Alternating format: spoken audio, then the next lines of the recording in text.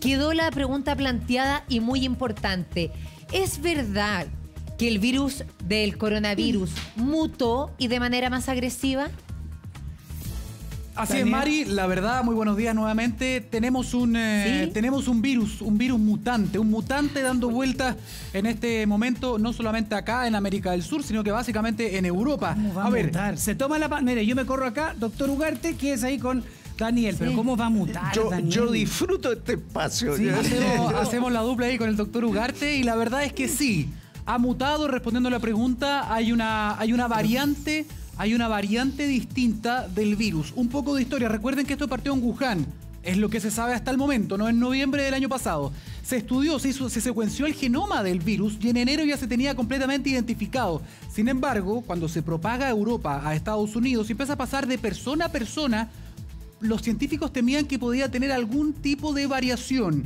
Y efectivamente se ha estudiado y hay una variante del virus muy, muy pequeña que tiene un nombre, es ¿eh? un nombre un poco complejo, es una variante que se llama D614G. Esa es la variante, pero el que llegó a Chile es más o menos agresivo que el de Wuhan.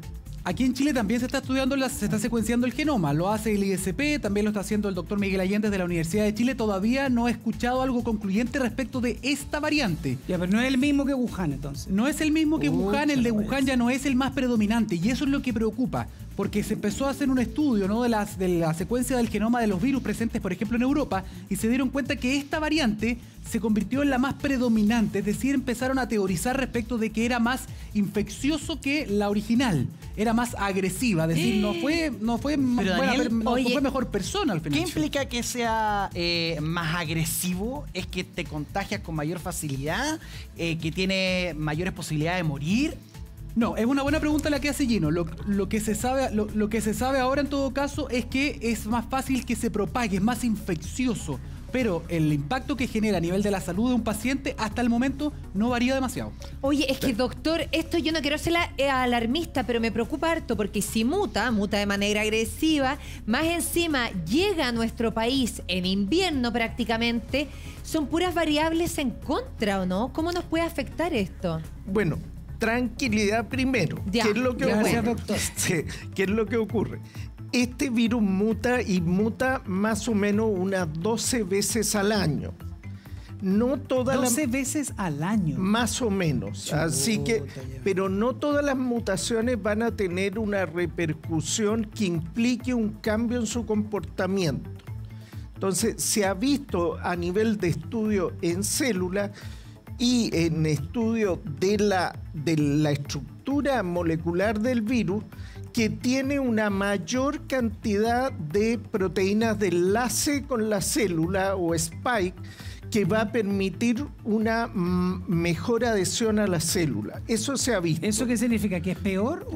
Tiene más llave para abrir cerradura. Peor. Oh. Ahora, ¿Cómo se comporta esto en el mundo real? Sí, eso, todavía será para otro episodio, porque lo que se está viendo es que ha ido desplazando a otras formas del mismo virus. Puede ser más fuerte. Pareciera, o las condiciones ambientales lo han hecho más susceptible de permanecer y prevalecer hay un equilibrio ecológico entre diferentes cepas y tiene de estas llaves mayores. Pero ojo que el comportamiento en términos de carga de enfermedad todavía no lo conocemos y hay que esperar. Y, duda, ¿la llave mayor significa, Daniel, que le podría dar más fuerte a gente más joven, por ejemplo? No se ha, no se ha estudiado todavía eso. A ver, para, para explicarlo súper bien, como decía el doctor, en el fondo aquí lo que se modifica, la variante, porque no es una cepa distinta, es una variante, porque es solamente un aminoácido, uno pequeño. Justamente lo que, lo que hace cambiar es estas llaves, ¿no? Estos spikes, hace cambiar una pequeña parte de la región de la proteína S, que es la que se conecta con la célula, ¿no? Con el receptor de nuestra célula. Lo que se sabe hasta ahora a nivel in vitro, a nivel de laboratorio, es que es nueve veces más infecciosa esta versión y también que tiene oh. cuatro veces más cantidad de estas llaves, ¿no? Estas proteínas que están en la superficie para poder infectar a la célula. Eso es lo que se sabe hasta ahora a nivel de laboratorio. ¿Cómo lo hicieron? Cultivaron con un virus distinto, les pusieron estas proteínas S que tiene el coronavirus, pusieron, hicieron la comparación, algunas con la proteína S de Wuhan, la original, y otro cultivo con esta proteína modificada, ¿no? Doctor- Con este aminoácido modificado. Y se dieron cuenta que efectivamente era mucho más infectante esta nueva versión, Ya, que además es es, la más predominante ahora. Eso, doctor, porque eso sí que, que también es preocupante. Yo no quiero ser alarmista, pero todo lo que ustedes están diciendo, si es que es más agresivo, es más agresivo en que es mucho más contagioso, y eso podría explicar que uno de cada tres personas que se hace la PCR da positivo, por ejemplo. O sea, podría implicar una mayor contagiosidad, podría ser, pero esperemos un poquitito. Debo recordarle que quizás hace unas dos semanas atrás, eh, en, en las informaciones que llegaban de Italia y de España, se teorizaba que el virus estaba mutando, pero mutando para mejor, Sí, que no estaba siendo menos contagioso. ¿Se acuerdan? Porque están en Sí. verano ellos. Claro, y- pero podía corresponder a una falsa esperanza que lo que estaba ocurriendo es que cambiaban las condiciones epidémicas y el virus estaba encontrando menos gente para propagar. Ahora tenemos pruebas de laboratorio que indican una mayor contagiosidad celular. De ahí al comportamiento, ya no en las células, sino en la transmisión de persona a persona, todavía necesitamos responder Falta esa pregunta. eso. Falta más Pero en, información. en si usted lo está analizando así, dice que sería más potente y qué sé yo. Eso significaría que la afectaría de una manera más fuerte a la persona. Exacto. No solamente los pulmones, los riñones que he hablado, sino que sería más invasivo o no necesariamente. No necesariamente. Podría serlo. Podría tiene, serlo. tiene la llave para hacerlo. Pero hay que ver cómo se comporta, porque a veces esto que molecularmente es, cuando se ve en la vida real, puede ocurrir que la forma en que se transmite, por ejemplo, no sea tan eficiente como otras mutaciones. Entonces, antes de asegurarlo, hay que esperar un poco más de investigación. Ya tenemos la sinopsis de lo que vendrá, hay que seguir los estudios. Pero, doctor, siguiendo con las noticias que tenemos en las últimas horas, ¿será por esto que ahora, por ejemplo, dicen que los pacientes se quedan hasta 55 días en la UCI? Entonces, esto sería que el virus probablemente podría ser más agresivo porque el mismo ministro ya señaló que esto ya es un síndrome más que un virus por la cantidad de órganos que se afectan. Efectivamente, antes, durante mucho tiempo, se hablaba de la falla respiratoria y el Sí. tema fueron los ventiladores mecánicos. ¿Qué es lo que ocurre? Los pacientes logramos en Chile que sobrevivan a la falla respiratoria. ¿Cuál es el problema? Después de la falla respiratoria o junto con ella empiezan a aparecer otras fallas orgánicas.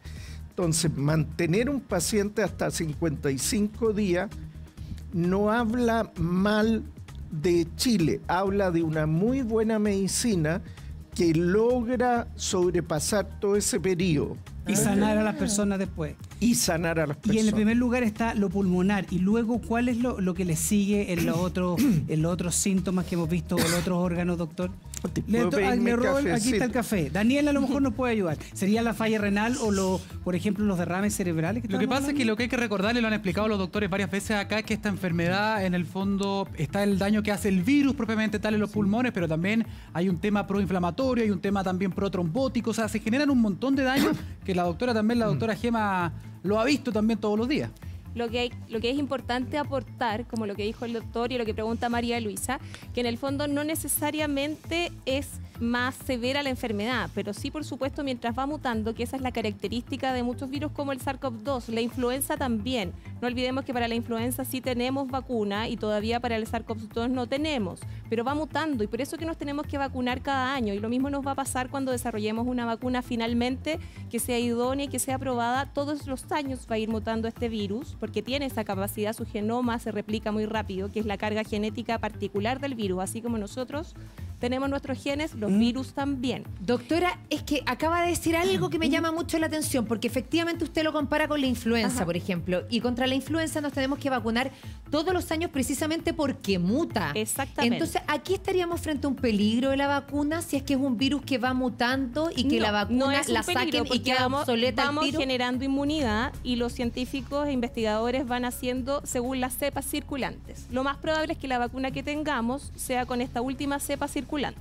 Y no sabemos cuánto va a durar, si un año o tres años, Daniel. Tal cual. Yo no sé si me va a adelantar un poco. Hay un tema, hay novedades, hay novedades con la vacuna también, pero la pregunta que hace la Mari es bien relevante porque uno dice, chuta, el virus entonces tiene esta variante que a nivel de laboratorio es más agresiva, es más contagiante. Sin embargo, no todo fue malas noticias en ese estudio porque probaron en estas dos variantes del virus, probaron, por ejemplo, uno de los tratamientos que ha dado resultados en algunos casos hasta ahora, como es el plasma hiperinmune. ¿Y qué se dieron cuenta? Que esto neutraliza de igual forma a ambos virus, a ambas variantes. Es decir, hasta el momento lo que se ha probado hasta ahora con tratamientos experimentales es igual de efectivo en el virus de Wuhan como en esta variación europea. Doctor. Sí, y ahí hay un detalle. Ojo, el virus de la influenza muta más o muta menos que el SARS coronavirus 2.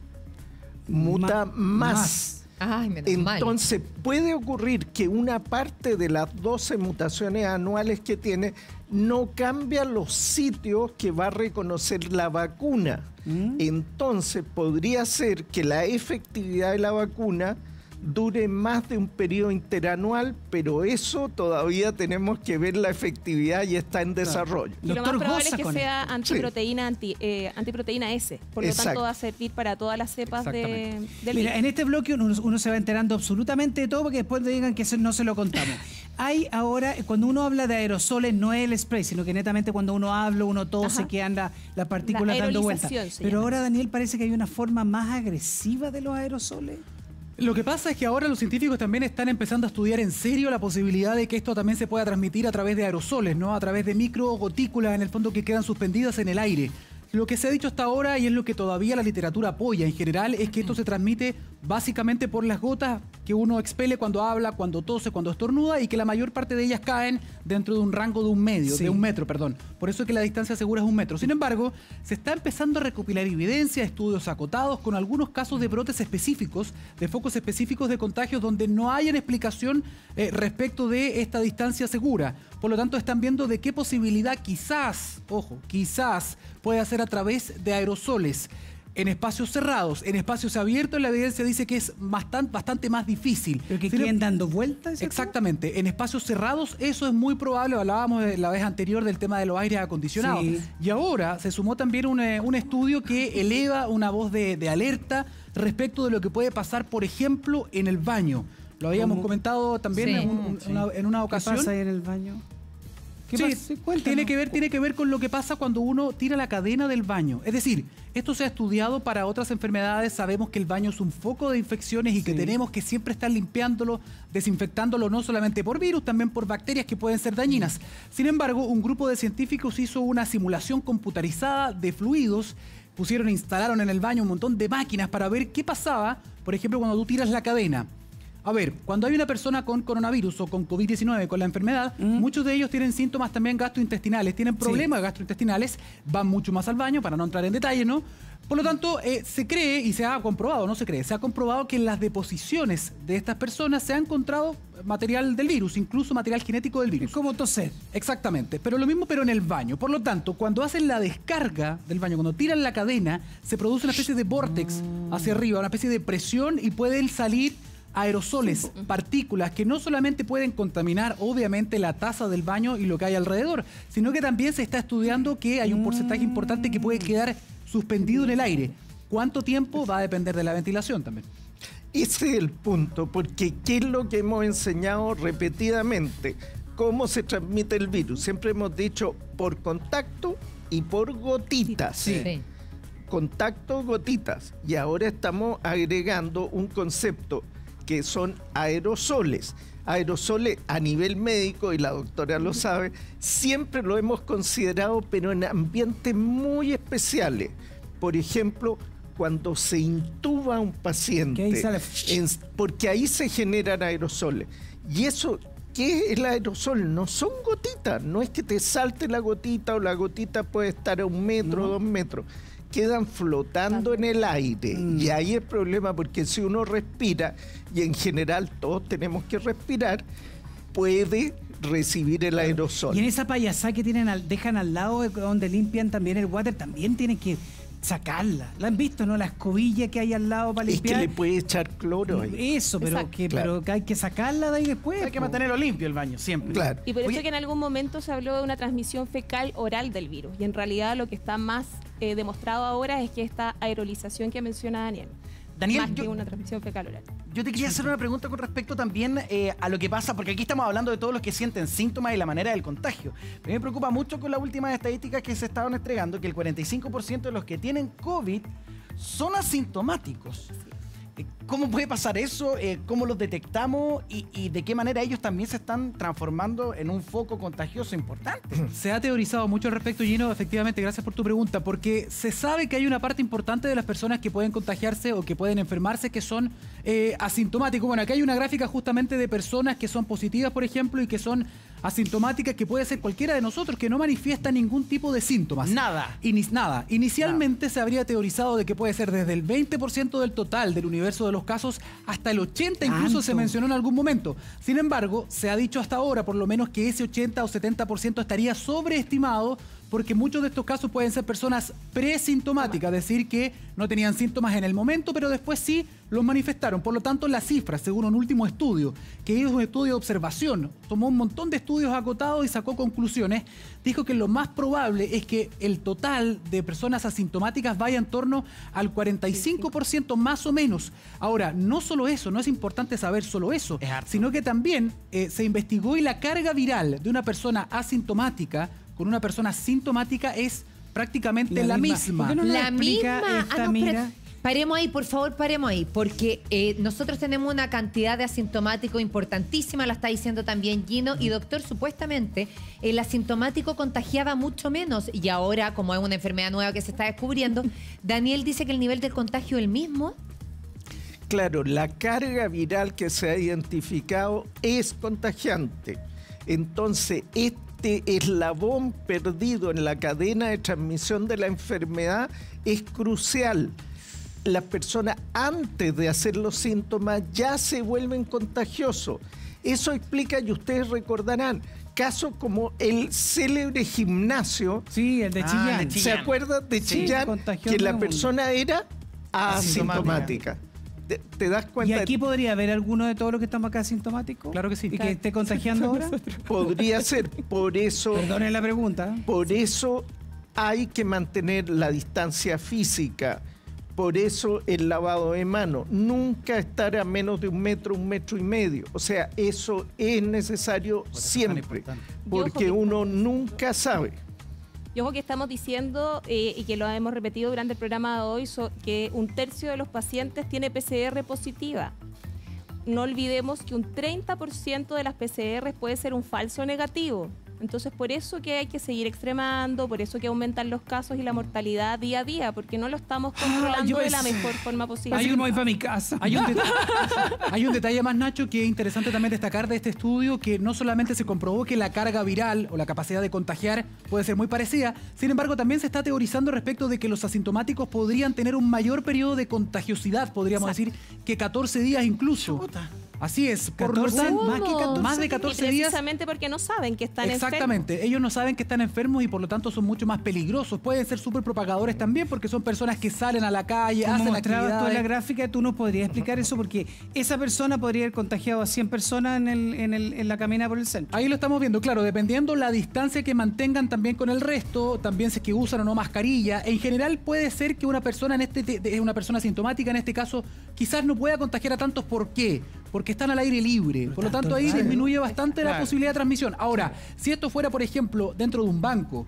o en un restaurante, como ya se están abriendo algunas empresas en, Europa, por ahí, ejemplo, que está bien cerca. o la En cercanía, por ejemplo, en este caso, ves que están conversando cara a cara en este Sí. caso, si estuviesen sin mascarilla también aumenta muchísimo la posibilidad. A lo que vamos con esto es que cuando uno esté con alguien o esté caminando en la calle o vaya a comprar al, al- al negocio de la esquina o vaya a la farmacia, siempre tienes que asumir que la persona que está Está junto a ti puede estar enferma. Exacto. Y Buena. esa persona no lo sabe. Por eso es muy importante siempre la mascarilla y tratar, aunque sea un poco majadero, mantener una distancia Claro. importante. Ojo, ¿ah?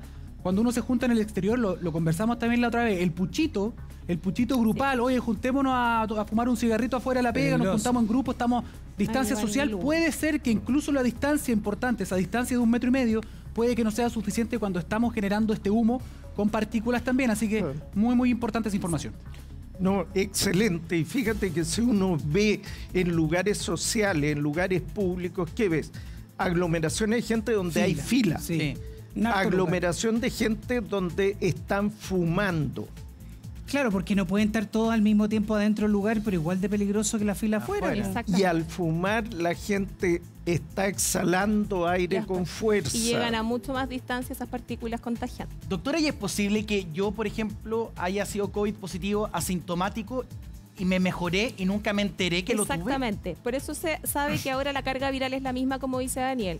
¿Por qué? Porque esta persona, la respuesta al, al SARS-CoV-2 es individual o idiosincrática, que se llama técnicamente. Entonces, si yo tengo un sistema inmune que no es exagerado, lo logro controlar en la, en la, en la puerta de entrada de nasal o faringea, en la garganta y en la nariz, y yo me quedé como asintomático y nunca tuve síntomas te- y me quedé, ojalá, con la inmunidad al SARS-CoV-2. Entonces, ¿qué sentido tiene que no nos podamos hacer los que no tenemos síntomas, no nos podamos hacer la PCR, no debiéramos hacernos todo? Deberíamos hacernos todos. A ver, el, el Lo sentido, puse en un tema complicado. el sentido que ha tenido eso es priorizar la pesquisa para aumentar la manejo. identificación de casos. Sí. Ya.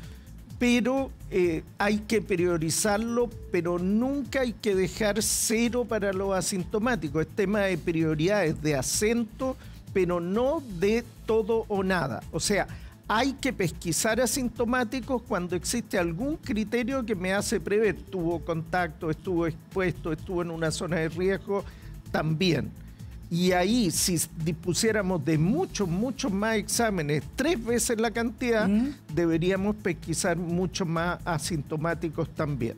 Oiga, doctor, lo quiero llevar. Me preocupó esta última cifra y esto que nos están diciendo, porque si no, ¿cómo se va a propagar la cantidad de contagios? Esto también tiene una explicación.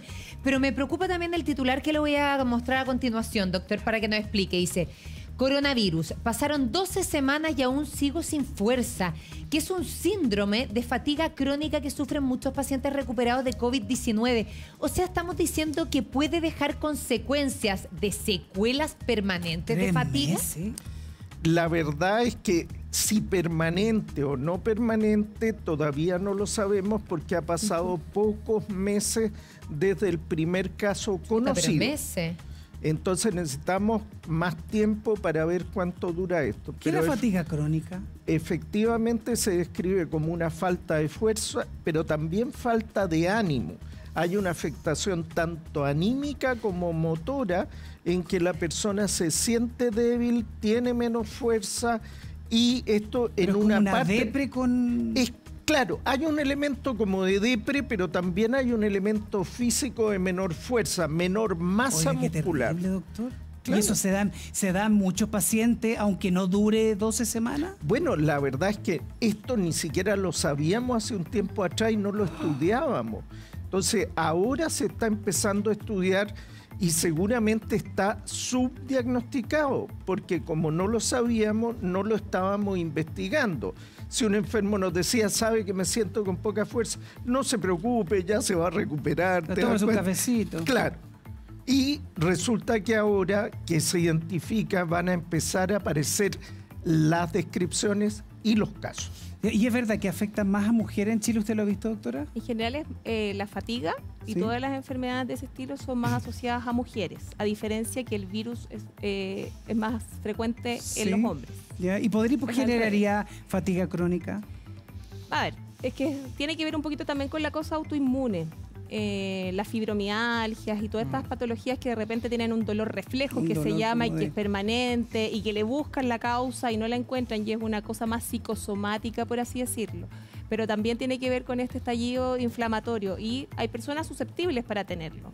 También está asociada a la causa, obviamente, psicológica asociada. Ah, Doctor, claro. ¿pero ¿Ya? qué hace que el COVID genere esta fatiga crónica? ¿Es porque te está afectando el sistema nervioso, el cerebro propiamente tal? O sea, se está estudiando, sabemos que tiene afectación neurológica y hemos visto compromiso tanto de nervio olfatorio, ¿no es cierto?, como de la médula espinal, mi- mielitis, como compromiso encefálico. Esto puede estar más ligado a reacciones de tipo inflamatorio sistémico que generan posteriormente una debilidad muscular y también un estado de astenia y como de falta ¿Cuál es la astenia, perdóneme? esta falta de fuerza, esta falta ánimo. de ánimo. No tengo sí. ganas de hacer nada. Eso significa la astenia. Astenia. Que también es síntoma común de la depresión. Y como Es- decía, ah, siga doctora. un Es importante también, como dice el doctor, de los síntomas neurológicos. No nos olvidemos que todos también tenemos distinta cantidad de los receptores asociados, que yo sé que ya lo ha hablado Daniel antes. Tenemos los receptores AC2, que están requete estudiados, pero además hay otros receptores más como el N- NPR1. Y ese también tiene mayor susceptibilidad de tener este compromiso de estado general, neurológico y con este cansancio. Así que Y- las personas que tienen más de estos receptores podrían dar estos síntomas. Eso podríamos pensar de ese paciente que sale ahí de la BBC. Oye, aprovechamos a todos de invitarlos. Si quieren escribirle a los doctores, hacerles preguntas, por supuesto, si tuviste COVID, si tienes o si tienes dudas, también escríbanos a arroba buenos días tvn.cl y ahí nosotros. No, no, es Eh, ese, sino arroba punto CL, me fui. TVN, claro. ¿Cuál es? Eh, Arroba buenos días TVN. Buenos días No, no, no, no. eso. Sí. Gato hashtag. TVN. Hoy estamos más enredados que cachipún de pulpo. De nuevo, si tiene pregunta y quiere hacerle al doctor, a la doctora, hashtag TV, no, buenos días TV. Bueno, ojalá llegue la pregunta. Ya, bueno, Bueno, hashtag ¿cuál buenos días TV. Pongámoslo ahí, por la favor. María Ahí está saliendo. la Hashtag, encefalopatía gravídica. hashtag buenos días TV. Ya, Usted sabrá va a doctora. aparecer en pantalla todo. Qué preocupada. Estoy con fatiga crónica, parece. ¿ah? No, no, es el diga, esta, esta fatiga crónica que me preocupa mucho.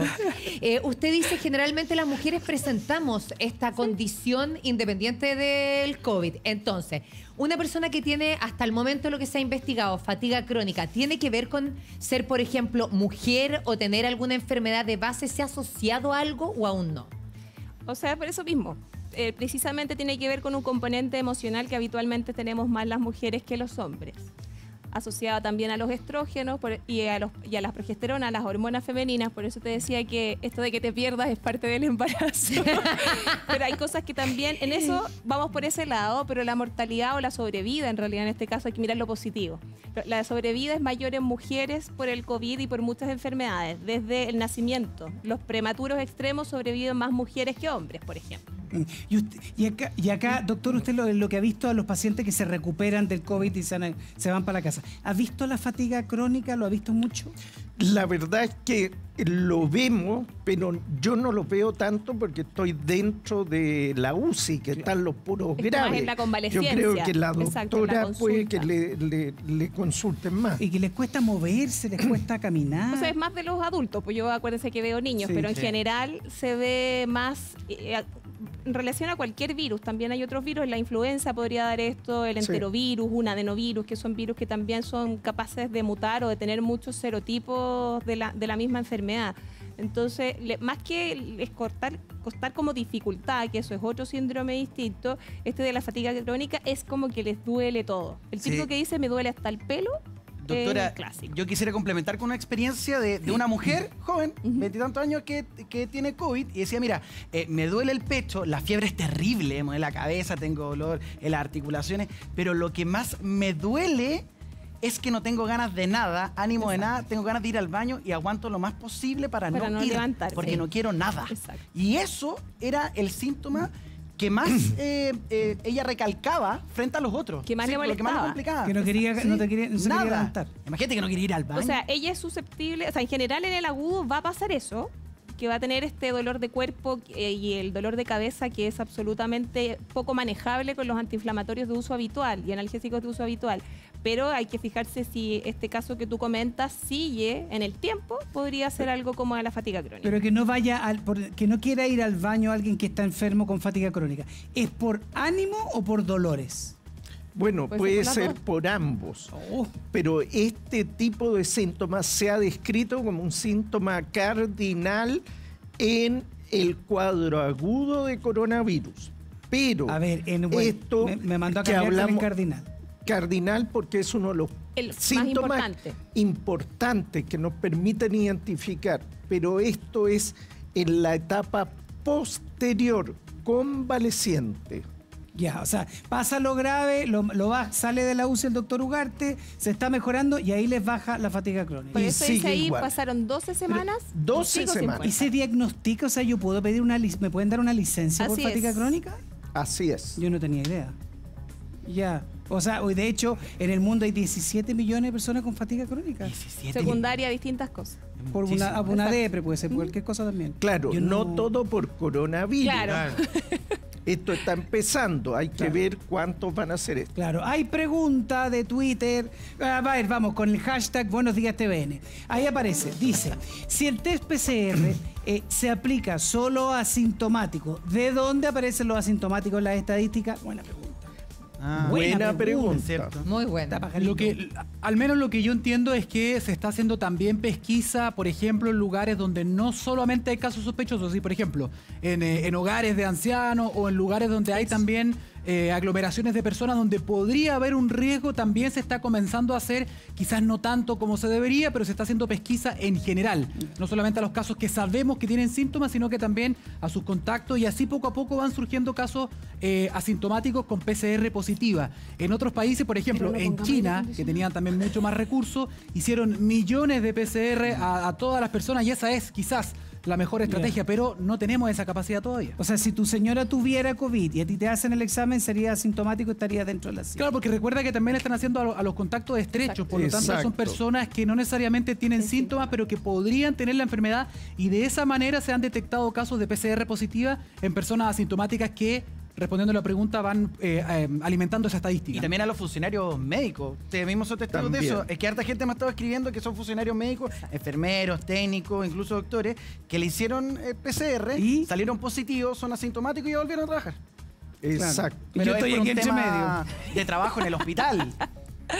Yo estoy aquí entre medio, mira ya. Siguen las preguntas con el hashtag Buenos Días TVN. Dice, yo tuve COVID y quiero saber si el dolor de pecho es normal que se siga sintiendo después de 14 días. Doctor. Bueno, esto depende si ha tenido una neumonía por coronavirus. Si ha tenido una neumonía, puede presentar molestias torácicas asociadas al cuadro. O sea, depende del tipo de, de presentación. Hay personas que solo pierden el olfato, pierden el sabor, especialmente con cosas saladas dentro de la pérdida de sabores. Hay otras que presentan un cuadro diarreico. No todos tienen manifestaciones torácicas pero aquellos que han tenido un cuadro torácico y por ejemplo han tenido mucha tos, pueden presentar dolor por inflamación de tejidos, pero también por la tos. Absolutamente. Siga mandando sus preguntas y Incluso ahora... si no tienen neumonía, si tuvieron una bronquitis o una traqueitis, empieza a doler primero aquí la parte central del pecho. Si este dolor es opresivo, que quiere decir que es un peso, como que tuvieran un peso gigante encima del cuerpo, sí tienen que consultar a urgencia porque podría ser un infarto o un tromboembolismo pulmonar. Ya yo voy a sentir todo. Vamos con el tema de los niños. Esta es una gran Daniel. ¿Cambio en el pregunta, equipo? una gran pregunta, chiquillos. ¿A los niños están en peligro? Hace más o menos dos meses, y acá la doctora me puede, me puede ayudar con esto. Hace más o menos dos meses se comenzó a estudiar varios médicos en diferentes partes del mundo, básicamente en Estados Unidos y en Europa, comenzaron a alertar respecto de síntomas algo extraños que estaban afectando justamente a niños y niñas, sarpullidos, eh, problemas también en la lengua, los- una decoloración especial en los labios, entre otros síntomas, eh, y se asoció inicialmente a la enfermedad de Kawasaki. Sin embargo, con el pasar de- del tiempo, también nos hemos enterado que este es un eh, síndrome que tiene un nombre muy especial y largo, además, eh, y ya sabemos lamentablemente que esta enfermedad asociada a Uy, mira el COVID-19 niñito. está en nuestro país. Hay al menos 10 casos de niños y niñas, ojo, ah, pueden ser también lactantes, que tienen esta, esta afección, que tiene un nombre bastante completo. Se llama síndrome inflamatorio multisistémico en niños asociado a COVID. Ahora puedo hacer ahí, doctor, una pregunta que me extraña mucho, porque esta enfermedad cuando partió, doctora, usted que es pediatra, eh, cuando partió supuestamente los niños eran casi inmunes, o sea, no habían pocos casos. Y a medida que pasa el tiempo, se van conociendo más y más distintos. ¿Esto tendrá que ver con que el virus mutó o, o con que la enfermedad es nueva nomás? Con muchas cosas. Una, como dices tú, como más que si muta o no muta, que la enfermedad es nueva. Vamos aprendiendo de lo que pasó en Europa y de lo que pasó en China. mira. y eh, que en general es una respuesta mucho más tardía. En general sigue siendo que los niños se afectan menos por COVID que los adultos. Eso no ha cambiado, pero los niños que se enferman se enferman más tardíamente y está asociado a este síndrome inflamatorio multisistémico o Kawasaki-like. ¿Por qué se le dice like del inglés? Es que es parecido o una forma el similar del Kawasaki. El Kawasaki o cualquier síndrome de estos dos, el síndrome es un grupo de signos y síntomas que muestran una enfermedad en general. En este caso, muestran que hay un compromiso multisistémico, o sea, de todo el cuerpo. Vamos como presentar, como dijo Daniel, van a presentar y que aparecieron las imágenes, erupciones cutáneas, lesiones cutáneas como esas que se ven ahí, que puede tener las mejillas rojitas, el cuerpo puntos rojos, que pueden ser también como morados, como petequias que nosotros le llamamos, que esas no desaparecen cuando uno presiona. Esa también es una clave, la dígito presión de esas lesiones. Uno lo aprieta y no desaparece como la de un racha alérgico, que Mm. sí desaparece eso, fiebre de varios días, que sí, claro, puede dar por el COVID, pero tampoco a veces está el contacto seguro y eso es importante. O el contacto fue mucho más, tar- eh, mucho más tardío. Por ejemplo, el papá tuvo hace seis semanas COVID y el niño empieza con la fiebre, las lesiones. Uy, puede ser por el papá. Con compromiso de estado general, que quiere decir que es un niño muy decaído. Los niños enfermos habitualmente tienen, están decaídos con la fiebre, pero cuando les baja la fiebre recuperan el ánimo. Este niño no va a estar así y puede tener compromiso cardiológico, compromiso gastrointestinal y eh, un estado así de mucha somnolencia o de mucha Ya. irritabilidad. O Así sea, que doctor, deben consultar a urgencia. No es solamente la mancha, yo pensé que era una cosa alérgica. No. Y Doctor, conjuntivitis que no tiene secreción por si esto. acaso, antes que se nos olvide. Efectivamente, entonces hemos descubierto y aprendido que los niños, que era el último bastión intocable por este Claro. virus, tampoco está salvo. Ahora, es importante, es importante hacer una aclaración también. Hasta el momento es cierto, hasta el momento desde el universo de casos, los niños son los que se enferman menos Exacto. y se enferman menos gravemente también. Eso se mantiene. Lo que pasa es que esta es una enfermedad asociada que está apareciendo y en la medida en que haya más niños contagiados, porque no olvidar que hay más de 2.000 niños que han sido contagiados con este virus. Y en China Lo que pasa es que pocos- manchas también. pocos se enferman, es cierto, pero mientras crezca el número de niños infectados, este tipo de enfermedad puede aparecer y puede ser un compromiso grave de su salud. Por lo tanto, nosotros aquí lo que queremos decirle a usted que está en su casa quizás preocupándose porque tiene un hijo, tiene hermanos, etcétera, la idea de nosotros es poder entregarle la información. No hay nada mejor que saber a qué nos enfrentamos para que usted también pueda eh, identificar esta enfermedad a tiempo, porque si la identifica o si tiene dudas de que su hijo o hija puede tenerla, es mejor que contacte inmediatamente a un especialista. Por eso yo creo, doctora, también que es bien relevante quizás repetir cuáles son a lo mejor esos síntomas, Los los, síntomas los más claves. típicos o los cardinales, como dijeron ustedes. Los síntomas claves son la fiebre, el compromiso de estado general, decaimiento, esta fatiga. Un niño, habitualmente, como decía, un niño nunca se cansa. Cuando tiene fiebre es normal que un niño se sienta mal, que esté decaído, pero sin fiebre, un niño que sigue igual de decaído llama mucho la atención.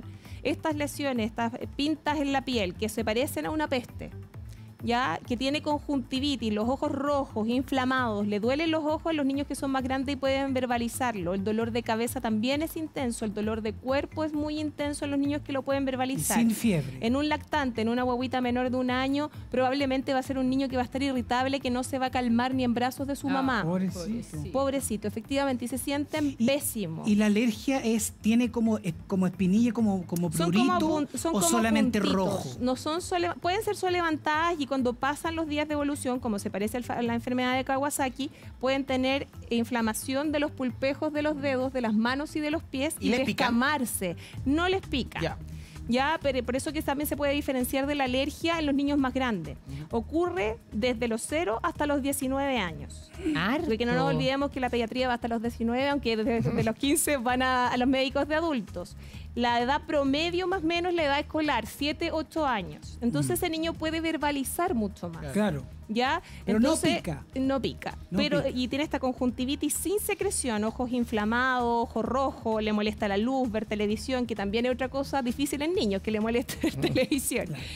Y va a estar muy somnoliento o muy irritable, los dos extremos del compromiso de conciencia. Mira, doctora, tenemos más preguntas del querido público que usted puede hacer las preguntas que quiera y aquí el doc- tenemos ya eh, Da- Daniel está a punto de ser doctor Y en cualquier minuto. antes que se me olvide, es Sí. un cuadro que puede ser grave. Estos 10 casos que hay por lo menos en Chile que dice Sí. Daniel, la mayoría, si no el 100%, Hay que están en la. UCI. Ya es grave. Se puede requerir drogas vasoactivas que cuando llegan al shock, que baja la presión, aumenta la frecuencia cardíaca y eso es un colapso. Puede ser haber un shock cardiogénico a nivel el del corazón también, ventilación mecánica y Qué se grave. tratan con los corticoides, que tampoco vuelvan a abusar de los corticoides solo por indicación médica. Eh, inmunoglobulina, que mejora la respuesta del sistema inmune, porque esto también es por el estallido de las citoquinas inflamatorias. Y la, todo lo que sea en el fondo de soporte que pueda entregar Y una todo- UCI, incluida la ventilación mecánica, Y todo por esto la falla respiratoria. Mira, Mauricio pregunta, estimado, si el virus mutó, ¿podría volver a afectar a las personas que se recuperaron del COVID? Buena Buenos días, también. TVN, doctor. Bueno, eso es poco probable. Las personas que han tenido la enfermedad en general desarrollan una inmunidad que se puede testear y tienen la capacidad de resistir a la enfermedad en la mayoría de los casos. ¿Por cuánto Ah. tiempo aún no lo sabemos? Ahora, es importante, es importante consignar también que hay evidencia que puede ser anecdótica de personas que justamente han dicho que ya se habían mejorado del virus y volvieron a salir positivos.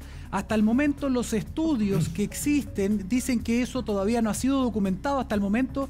A mí lo que me decía, por ejemplo, Arturo Casadeval de John Hopkins me decía que no existe ningún estudio que respalde la teoría de la reinfección por el momento, por el Ah. momento. Puede ser que el virus esté todavía presente, esté, hayan trazas del virus Eso. desactivado y que también eso sea identificado por una PCR. Exacto, hay Eso dos cosas que hay que diferenciar. La PCR tampoco se sabe cuánto tiempo puede salir positiva, no solo por SARS-CoV-2, también nos pasan con otros virus como el rinovirus, por ejemplo.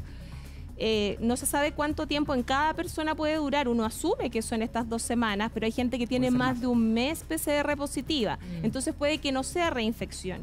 Hay que confirmar la reinfección, hay casos aislados, pero también hay casos que los pacientes no generan la inmunidad, porque acuérdense que tanto la respuesta exagerada como vencerlo en la puerta de entrada y como generar eh, inmunidad requiere de una respuesta inmune personal de cada uno de los individuos. Por eso que también el plasma convaleciente tampoco se le da a cualquiera. En el estudio que está organizado aquí en la FALP son niveles de títulos de las IgG, de estos anticuerpos que dan inmunidad con cierto valor. No basta con una leve IgG positiva, sino que tiene que tener valores En altos, fácil, doctora, en fácil, para todos. Para poder Mucho, mucho anticuerpo. Anticuerpo, Mucho anticuerpo. por ejemplo, por poner un valor, si por ejemplo yo tengo un anticuerpo de respuesta al virus mayor a 1000, puedo participar en esto del plasma eh, de Con las la FAL. personas recuperadas con la FAL. Si tengo de 100, no me sirve, no le voy a generar inmunidad a nadie, que es lo mismo que pasa con las vacunas, para que se entienda. Perfecto. ¿Ya? Gino. Tenemos más preguntas en redes sociales. Daniela dice, ¿es cierto que las personas con hígado graso tienen más problemas al infectarse de COVID-19? Sí. Doctor. Sí, efectivamente se ha descrito una asociación entre un curso más grave y afección hepática y específicamente hígado graso.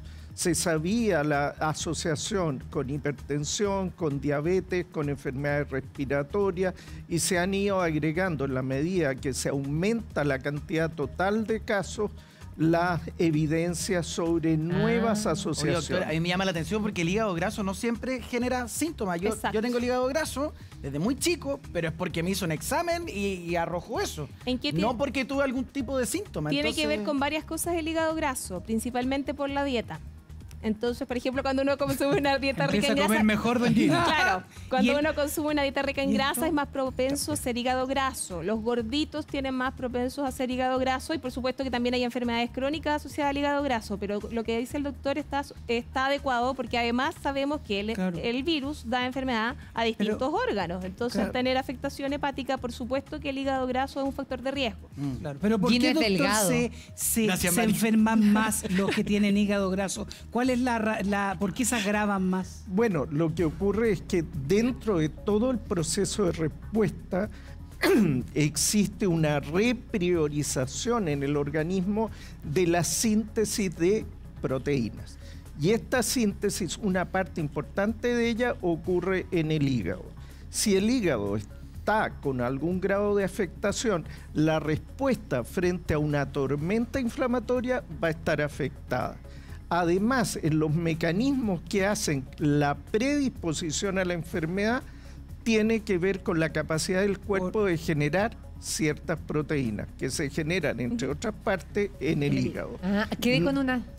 Daniel, Sí, diga, diga. Hay algo, hay algo también que decir respecto del hígado graso, porque este es un tema que hemos conversado también con varios colegas y no hay que confundirse. Muchos me decían, bueno, ese no es un problema mío, porque yo, por ejemplo, no tengo obesidad, ni sobrepeso. Y ese es un tema que mencionaba también la Mari. Esto no necesariamente No. está aparejado siempre a sobrepeso u obesidad. Hay muchas personas delgadas que tienen una dieta alta en grasa, como Gino, eh, que tienen justamente hígado dieta, graso. ¿no? Por lo tanto, a no confiarse. Es posible que usted tenga un hígado graso y que no tenga sobrepeso. No siempre están asociadas ambas condiciones. Puede estar Exacto. asociado, perdone El- al que le quede el poncho que se lo ponga, pero es verdad que está asociado a una persona muy delgada, hígado graso, a que toma mucho, por ejemplo. O sea, el- el- Trago. la ingesta de alcohol tiene dos formas de actuar. Uno puede ser por cambio de la dieta, porque el alcohol también aporta calorías por el alcohol que se ingiere. Sí. Y otro es porque el alcohol puede generar daño celular de células hepáticas que son reemplazadas inicialmente, ¿no es cierto?, por depósitos de grasa y que si persiste en el tiempo puede hacer o daño tipo hepatitis o una cirrosis. No vamos a echar al agua Gino cuál es, pero doctor, quedé con una duda, fíjese. Porque si usted dice, y efectivamente nos enteramos hace muy poquitos días de que el hígado graso inclu- se incluía dentro de las enfermedades que te ponía más en riesgo. Entonces, como estamos hablando que el COVID es una enfermedad nueva, esto significa que quizás todos los casos de personas que vemos que les pega muy fuerte sin tener enfermedad de base, siendo joven, puede que tenga que ver con algo que aún no descubrimos. Por ejemplo, alguien que tenga una leve anemia o nuestra Mm. propia compañera que estaba haciendo una dieta, entonces le pegó muy fuerte y tiene una neumonía Mm. o cosas así que vayamos descubriendo en el camino. Ojo que todos los factores que influyen en el grado de gravedad no los vamos a conocer.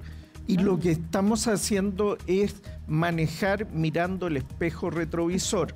Miramos todos aquellos que se enfermaron y empezamos a ver aquellos que se enfermaron más o se enfermaron más grave, qué tienen en común. Cuando uno mira hacia atrás, no necesariamente va a predecir al futuro. O sea, yo tengo esta condición, ¿me voy a enfermar? Puede que no. Mm. Y otra persona puede que sí. Entonces, todos estos hallazgos los vamos a tener que confirmar probablemente en un nuevo brote y ver si lo que ya observamos se reproduce hacia el futuro. De momento sabemos que hay que tener cuidado y nos entrega información valiosa para las personas que conocen esta condición de extremar las precauciones. Tenemos más preguntas en redes sociales y atento con esta. Es muy interesante. Un poquito, perdón, de lo Sí. que decía la, la María Luisa, la compañera de ustedes que estaba haciendo dieta, todos los estados de, de los dos extremos. La obesidad por eso funciona mal. La malnutrición por exceso o por déficit va a bajar la inmunidad. Entonces, eso sí va a hacer que la persona se enferme más, independiente de los otros factores de Póngale riesgo. algo al lado de la lechuguita. Y ¿no? el fumador, y el fumador, por supuesto, Ja. que puede ser delgado y por el hecho de ser fumador se va a Le va a enfermar mucho igual. más. Tenemos pregunta en redes sociales. Carolina Molina dice, ¿existe un riesgo mayor de trombosis en pacientes COVID-19 que sufren migrañas recurrentes? El clásico dolor de cabeza tan chileno por lo demás, doctor. A ver, hemos estudiado que existe toda una cadena de cómo se produce la trombosis en los pacientes que tienen SARS coronavirus 2. Y no solo trombosis, sino también una predisposición a una coagulopatía de consumo. Eso está demostrado.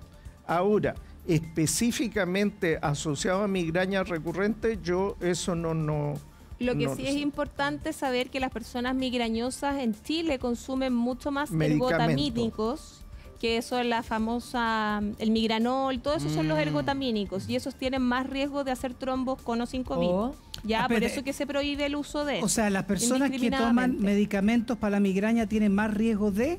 de hacer trombos, de hacer infartos. por un, pero por un solo por ese, por el ergotamínico. específico. Por el remedio, no, por la enfermedad. Exacto. Por eso, por, Por un O sea. ¿qué es lo mejor? Que si uno tiene migraña recurrente, aparte de consultar al neurólogo y usar algo para prevenir esas migrañas, que habitualmente son medicamentos que bajan la tensión, o usar analgésicos de uso habitual como ibuprofeno, paracetamol, volvemos a lo mismo, en ese sentido es más benigno que usar el famoso migranol. Mira, el migrañoso no. se automedica bastante. Exactamente. Exacto. Y si a eso le Y da agrega cefalea de rebote, además. No le, Claro. no le funciona por ningún lado. y si le agregan medicamento protrombótico más el riesgo protrombótico del virus, le está sumando riesgo sobre Y las mujeres riesgo. que tienen también más riesgo protrombótico y se utilizan anticonceptivos, más, Más protrombótico. Más riesgo todavía. Mire, vamos a seguir, las preguntas siga mandándolas, pero vamos a hablar sobre la famosa vacuna. Esto me lo pregunta mi mamá todos los días, Daniel, que lo pregunta. ¿Qué por pasó favor. con la vacuna? vacuna? de Oxford? Sí, hay buenas noticias, siempre pedimos cautela. ¿ah? Cuando estemos comunicando estas cosas sabemos Sí. que hay una carrera mundial por el desarrollo de vacunas que lleva una velocidad impresionante, inédita en la historia, podríamos decir. Hasta, hasta el momento hay al menos 10 vacunas que ya están dando mucho que hablar y que han avanzado muchísimo y tienen buenas perspectivas, han hecho buenos comunicados de prensa. Pocas de ellas tienen estudios eh, publicados en fase 2. Pero bien, comienzan a fabricar vacuna contra el virus. Esto es cierto. Ayer, justo ayer, esto es noticia reciente, en Reino Unido, el secretario de Salud salió a decir que ya iban a comunicar que comenzaban a fabricar hoy, es decir, ayer comenzaba la fabricación de la vacuna de Oxford, la famosa Chadox, ¿no? que están haciendo Qué en bueno. conjunto con un laboratorio llamado AstraZeneca. Este laboratorio está ayudando a aumentar la capacidad de producción de esta vacuna. Dicho eso, también tenemos que decir, esta vacuna, la vacuna de Oxford, va en fase 1, fase 2, es decir, no han terminado todos los estudios, falta todavía el fase 3, que va a tener miles de pacientes, una cohorte mucho, mucho más ¿Por grande. qué la están haciendo entonces? Lo están Ah. haciendo porque ellos están confiados, muy confiados en los buenos resultados que han obtenido hasta el momento, resultados que no han sido publicados ni revisados por pares. Muy importante también eso. Por lo tanto, están tan confiados que ellos ya dijeron que van a tener millones de dosis fabricadas entre agosto y septiembre. Y no solo eso, algo deben saber también los países que ya firmaron convenios, es decir, eh, Reino Unido va a empezar a fabricar esta, esta vacuna ahora, cosa de que cuando esté la ciencia que apoye los resultados, ellos ya van a tener la cantidad de dosis suficientes para su población de riesgo al menos. Sí, lo que ocurre ahí es que cuando uno está haciendo toda la ciencia, que la gente quisiera que la ciencia fuera más rápida y lamentablemente toma tiempo. Y uno no puede anunciar un descubrimiento en la víspera, sino hasta que está la evidencia para ello. Entonces, van a pasar meses hasta que tengan un resultado. Y en ese momento, recién empezar a fabricar las dosis, van a pasar más meses para que esté disponible para la gente. Entonces, esas escenas de película donde se descubre una cura y pasa mucho tiempo para tener la vacuna, se puede acortar con esto.